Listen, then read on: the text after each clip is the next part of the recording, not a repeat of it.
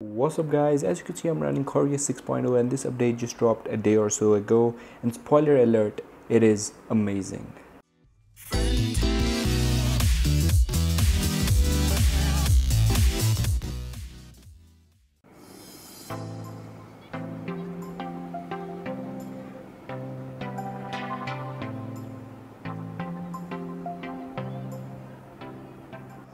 Alright, so guys, before we start, please make sure to subscribe and like this video because uh, Pixel Experience update is about to drop very, very soon, and I'm going to make a video on it as soon as it drops. So stay tuned if you want to know uh, when it drops and how it is, and just overall.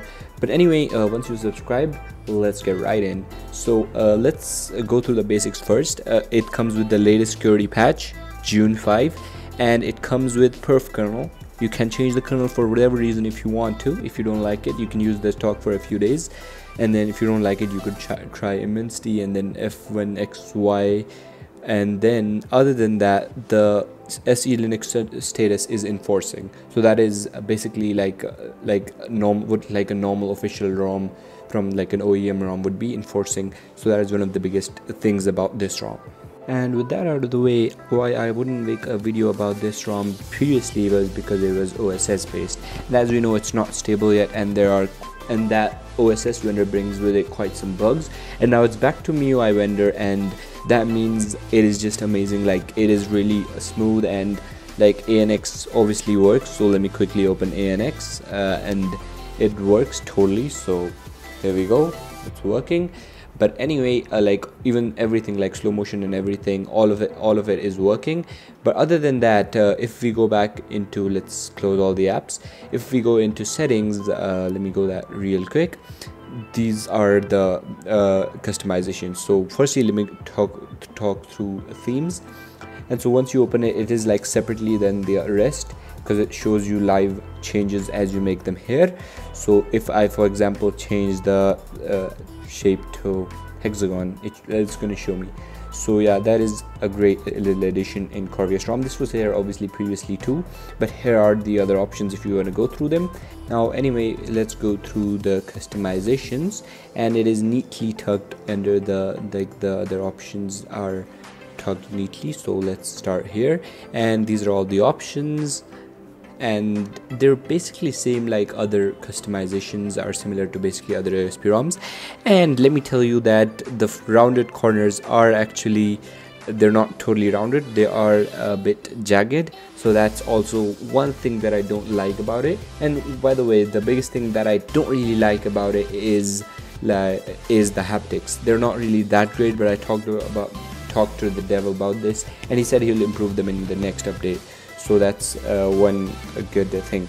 But anyway these are all the customizations here. So if you want to go through them you can pause the video. And in miscellaneous these are the options. And yeah now if we go to lock screen it does come with a bunch of animations. Right now I'm using Ripple because I like it. And you can choose anyone obviously. And if we scroll down here the other options. Now if we go into uh, fingerprint preferences this is just basic stuff. Uh, anyway if we go into here there are much more option options and status bar. So you can turn on change the battery uh, icon and stuff like that and carrier label and stuff like that and the clock options in your status bar. And if we go into icon manager you can actually disable each and every icon if you want to. Now if we go into quick settings there are also a bunch of options. You can toggle uh, like you can change the layout and stuff like that. And now if we go back to traffic indicators and you can enable it and it does indeed work. So in ticker this is like a different wait. Once you enable it it does just uh, do a system UI reboot. And uh, so in ticker it's basically instead of heads up when the notification comes down it's ticker it just comes in the status bar. You can use it if the heads up bothers you but anyway in buttons there are a bunch more options here too if you want to go through them.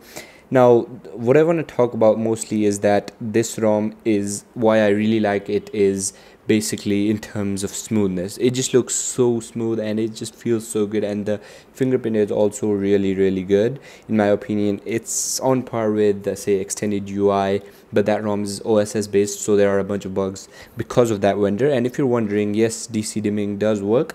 So let me show that to you indeed right now. So if you turn that on yes it is working. Now if you're wondering how i got this uh, big like pill I'll leave the links down in the description or you can contact me on my telegram group. And also if you're wondering about my case that's also going to be linked down in the description. Now other than that in terms of bugs I couldn't find any other than a VO Wi-Fi which I wasn't able to get working. I have actually toggled it here and so it is on and then I did reboot a couple of times. So it's not working for me but for others it did work. So let me uh, actually call say 198 it doesn't say it's Wi-Fi calling so what it would do is show here Wi-Fi calling and now it's not showing Wi-Fi calling so yeah it's not working for me.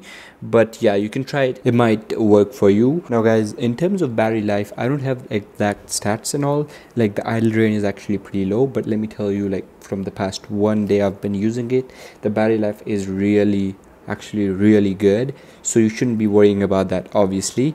And now there's one thing that is actually missing. So there is no raise to wake in this on this or in this ROM. So if you go to lock screen display there is no raise to wake but there is pickup this one is pickup to ambient display and this does not properly work. There's a lot of delay in it. So yeah that is one thing you need to keep in mind before installing this ROM.